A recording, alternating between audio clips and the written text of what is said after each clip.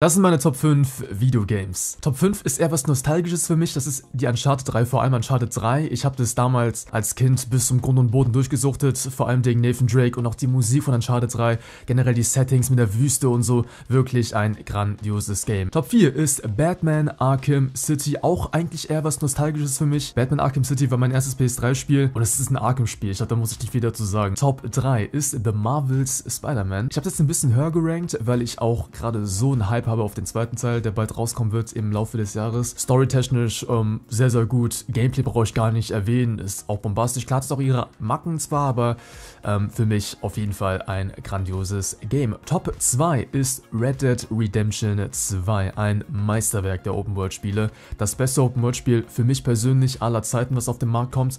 Die Open-World, brauche ich gar nicht erwähnen, ist grandios. Die Grafik und auch die Story, oh mein Gott, was für eine geile Story Red Dead 2 hat. Klar, der hat einen langsamen Aufbau, aber gegen Ende des Spiels wird es richtig, richtig geil. Also meine Top 2, wirklich bombastisches Game. Meine Top 1 ist, das wird glaube ich immer im Herzen bleiben für mich, egal was passieren wird, ist The Last of Us 1. Ähm, ich glaube, da muss ich nicht viel dazu sagen zu The Last of Us 1. Ähm, Story, Meisterwerk, Gameplay auch cool und einfach die Atmosphäre, die Geschichte, die erzählt wird, ähm, hat mich als Kind und bis zum Erwachsenenalter immer noch mitgenommen. Ich muss so die Serie anschauen eigentlich, ey.